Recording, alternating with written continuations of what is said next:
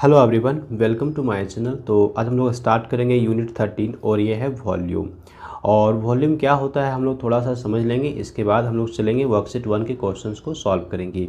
तो यहाँ पे हम लोग कुछ ऑब्जेक्ट्स को देख रहे हैं. अब यहाँ पे होगा क्या ना, ये कुछ स्पेस ऑक्यूपाई करेगा, कुछ स्पेस कवर करता है, ठीक है? तो जो स्पेस कवर करता है, उसको हम क्या कहते हैं, उसका वॉल्यूम कहते हैं. All these solids occupy a certain amount of space यहाँ पे देखिए हाईलाइट करके बताया गया है. The measure of space a solid occupies is called the volume of the solid कोई भी सॉलिड जितना स्पेस ऑक्यूपाई करता है, वो उसका क्या कहलाता है? वॉल्यूम कहलाता है। यहाँ पे देखिए एग्ज़ाम्पल के लिए हम लोग को बताया गया है। Look at the caps given here यहाँ पे टू कैप्स हम लोग देख रहे हैं। Which one occupies more space कौन सा कैप है जो ज़्यादा स्पेस ऑक्यूपाई कर रहा है? तो अभी यहाँ पे क्लियर है कि ये रेड कैप जो है ना ज़्यादा स्पेस ऑक्यूपाई कर रहा है। इसलिए इसका वॉल्यूम भी ज़्यादा होगा। The red cap occupies more space so the volume of red cap is greater than that of the pink cap इसलिए जो हमारा पिंक कैप है, उसका वॉल्यूम कम है रेड कैप का वॉल्यूम ज़्यादा है। ओके ये क्लियर हो गया। अब चलिए हम लोग मूव करते हैं वर्कशीट वन की ओर। तो यहाँ पे वर्कशीट वन हमारे पास आ जाता है। फ़र्स्ट क्वेश्चन कहता है which of the following has more volume किसका वॉल्यूम ज़्यादा है? तो आप यहाँ देखिए, पहला नंबर पर लिया गया क्रिकेट बॉल और टेबल टेनिस बॉल तो क्रिकेट बॉल और टेबल टेनिस बॉल दोनों में से किसका ज़्यादा वॉल्यूम होगा? ऑब्वियस है, यहाँ पे क्रिकेट बॉल का जो वॉल्यूम होगा वो ज़्यादा होगा. ओके तो हम लोग यहाँ पे आंसर यहाँ पे कर सकते हैं. आंसर में हम लोग लिख सकते हैं क्रिकेट बॉल ठीक है तो आप लोग क्या करिएगा ना, आप लोग अपने नोटबुक में नोट कर लीजिएगा। मैं यहाँ पे बुक में नोट कर देता हूँ। नेक्स्ट है लेमन और वाटरमेलन ऑब्वियस है वाटरमेलन का ज़्यादा होगा वॉल्यूम ठीक है तो हम लोग यहाँ पे लिख देते हैं वाटर मेलन ओके ये तो बिल्कुल आसान है। और नेक्स्ट है one upon two litre polypack of milk और one litre polypack of milk तो वन अपॉन टू है, यानी कि ये हाफ़ लीटर है। और ये क्या है वन लीटर यानी फुल लीटर है। तो निश्चित तौर पे यहाँ पे जो वन लीटर है, इसका वॉल्यूम ज़्यादा होगा। तो हम लोग यहाँ पे one litre one litre poly pack of milk हम लोग ले लेते हैं।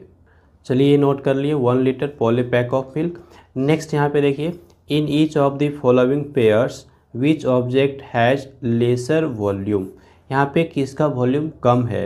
ओके ये हम लोग को क्या करना है टिक कर लेते हैं।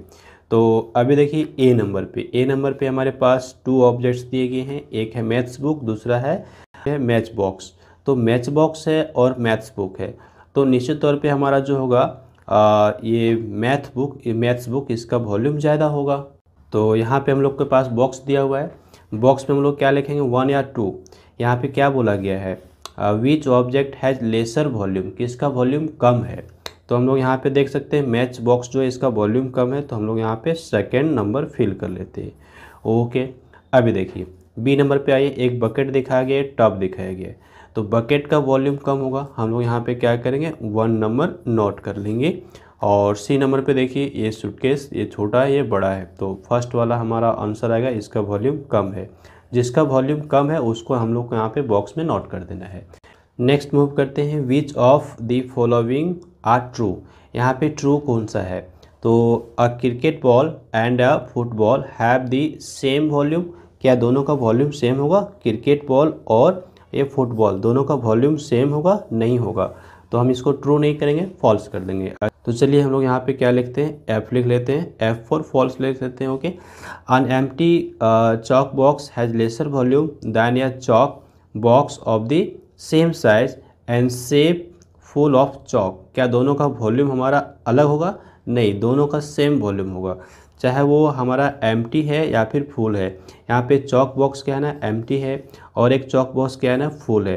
तो दोनों का क्या अलग अलग वॉल्यूम होगा? नहीं, यहाँ पे दोनों का अलग वॉल्यूम नहीं होगा। दोनों का सेम वॉल्यूम होगा। तो फिर से इसको हम क्या कर लेते हैं? फॉल्स कर लेते हैं। ओके नेक्स्ट बात करेंगे सी नंबर पे।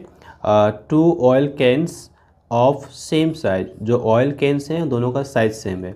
One empty and one full of oil एक जो है वो एम टी है खाली है and one full of oil दूसरा क्या है ना ऑयल से पूरा भरा पड़ा है। कहता है हैव सेम वॉल्यूम क्या दोनों का वॉल्यूम सेम होगा? यस yes, दोनों का वॉल्यूम सेम होगा। हम यहाँ पे ट्रू कर लेंगे। कोई भी बॉक्स uh, है अगर एक एम है एक पूरा भरा पड़ा है तो क्या है ना, दोनों का वॉल्यूम में कोई डिफरेंस नहीं होगा, दोनों का सेम वॉल्यूम हुआ करता है। तो ये हम लोग यहाँ पे ध्यान रखेंगे और ये हमारा कंप्लीट हो गया वर्कशीट वन के सारे क्वेश्चंस हमने यहाँ पे सॉल्व कर लिए।